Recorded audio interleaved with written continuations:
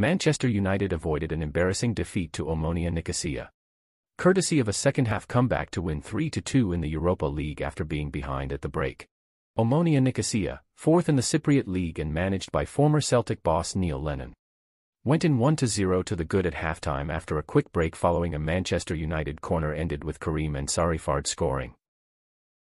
Erik Ten Hag who picked a strong side including Cristiano Ronaldo and Case Casemiro. Reacted by bringing on Marcus Rashford and Luke Shaw. And it was Rashford that started the comeback with a cool finish before fellow substitute. Anthony Martial struck the visitors in front. Rashford made it 3-1 to cap an impressive individual showing before. Nicolas Pineda meant United had to stay switched on in the closing stages after narrowing the deficit. Ronaldo looked desperate to impress but his 700th career goal evaded him on a frustrating night for him. Culminating in a jaw-dropping miss that hit the post despite the goal gaping from six yards out. Manchester United returned to Premier League action on Sunday as they travel to Everton, with kickoff at 7 p.m.